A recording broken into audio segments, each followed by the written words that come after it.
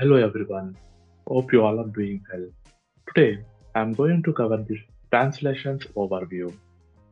Language translations.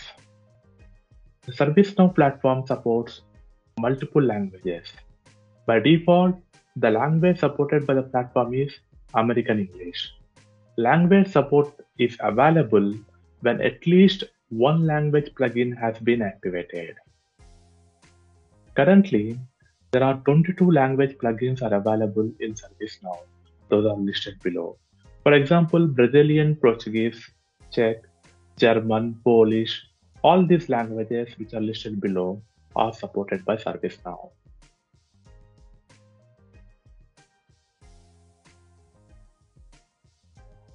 Language for the instance section.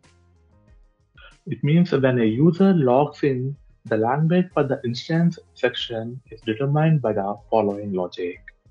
First one, if the language selection at the login is enabled, then that language is used. Second one, if not, the language preference selected using the language picker in the header bar is used. Third, if not, the language setting in the users table is used.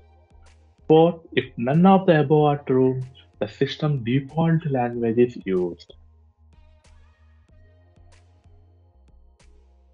Let's log in with um, all type of users with all the methods mentioned above. For example, I have taken the below users.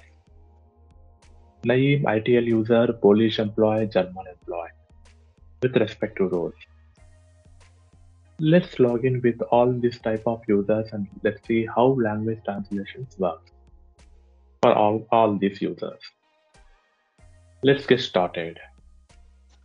Let's log into the instance. I'm logging as an admin user.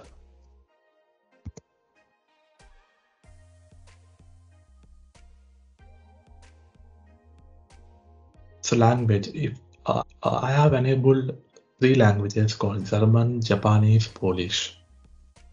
Okay, so I'm for testing, I will use like German and Polish languages. Language. Whenever you are trying to log in with the language selected from the picker, the instance will show in that language. And this language is set as preferred language to your user's account. Let's see let uh, let me log in with English language. And you can see the whole instance is changed to English. And let me open um, service portal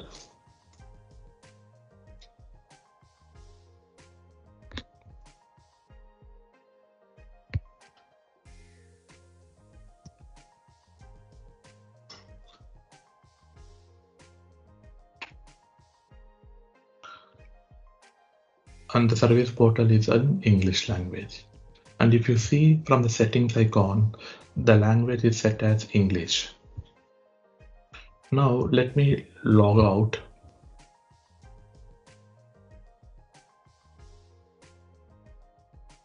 Now, uh, this time I will set language to Polish. And then I will try to log in.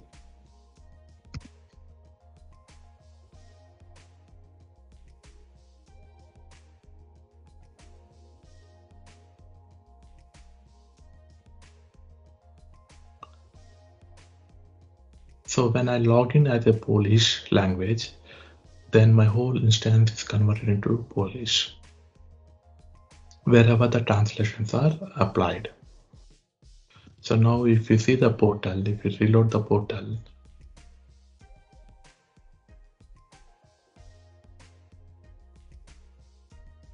now you can see the portal is translated to Polish. For example, if I want to change the language to from Polish to English or Polish to German or any other languages.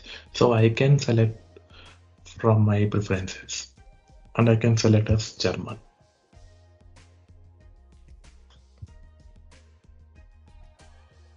Now the my whole instance is changed to German language. And you can, you can see in the portal also. Reload the portal and see it's changed to German language. So in that way, in that way, whenever the users log in or uh, with their preferred languages, then the portal or the whole instance is changed to particular language, whichever the users is selected. That's about how language translations works. Please do subscribe to get alerts for upcoming videos. Hope you will enjoy and learn ServiceNow. Thank you very much for your time.